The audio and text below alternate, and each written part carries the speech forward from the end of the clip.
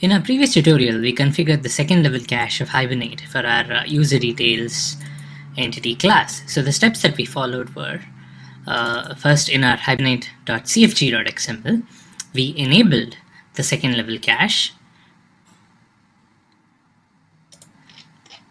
Uh, over here. So we added a property said use second level cache. We made it as true and we also supplied the cache provider class as the EH cache provider. We added the EH cache jar into our class path and then in our uh, actual entity we made this entity as cacheable because by default entities are not cached unless you specifically ask Hibernate to do so. Uh, once we did those two steps, we were we were all set to use a second level cache. You know, the cache is being used by default. We don't have to specifically write any commands in order to use the cache. Hibernate automatically takes care of that for us. So if same you know object is accessed across two different sessions, the second level cache comes into play and it's going to you know uh, give us the data from the cache now this is fine but now let's say I uh, instead of using a session.get what I'm doing is I'm pulling up data using a query so let's say I have a session.create query and uh, okay let me let me remove this and um, I will use a query object in order to get the same data. Now what I'll do is I'll do a query equals session dot create query and I will write the query here from user details user where user dot and let's verify the ID again it's user ID user id equals 1. I'm not going to do any parameter substitution because I want to keep this example simple. Now query is something I'll have to import from javax.persistence. I'm sorry, from um, Hibernate. So let me remove that.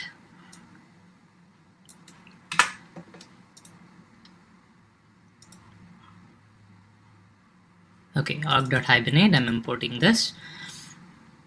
Okay, now what I need to do is I need to do a query.list and it's going to give me the list of records. It's, here is just one uh, record. It's going to give me a list. List equals query dot list. I'll have to import the query, I mean the list again from java.util. Okay, so this is exactly the same as what we've done earlier. Instead of using a session.get, what I'm doing is a session.create query. Now, I will use the same thing in this new session. So what I'm doing is, after uh, after getting the list of users, I'm closing this session, I'm opening a new session, and I'm gonna do the same thing. So I will say I'll call this query 2 and uh, we'll use the same list that's fine. We'll say query 2 dot list. Okay now how many queries will run? Let's uh, check this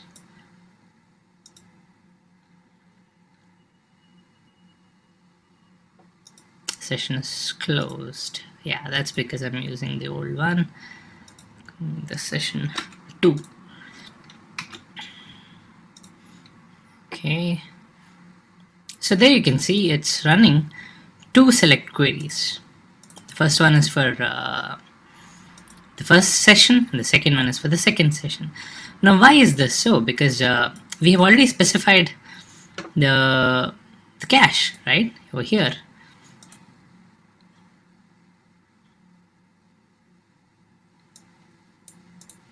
here you can see we already have the H cache in place now, the thing is that Hibernate differentiates queries as something different. We need to specify a query cache separately. I'll talk in a minute about why we need to do that. But uh, see, just like we have a use second level cache, we need to have another property called use query cache and we need to set that to true as well.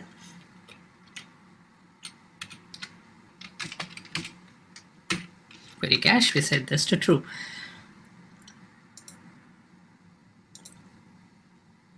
Okay, so now what, what we're doing is we have a second level cache and we have a query cache. Now the query cache is actually different from your second level cache. The results of the query is not stored in the same place in the cache as it would store the results of a session.get which it has uh, cached in the second level cache. So actually you can think of this as three separate caches in Hibernate. The first cache is the session cache which you know which is uh, which comes up by default everything inside a session is cached the second cache is your uh, second level cache and the third cache is your query cache so in order to use query cache, first thing is we need to we need to enable this, say use query cache.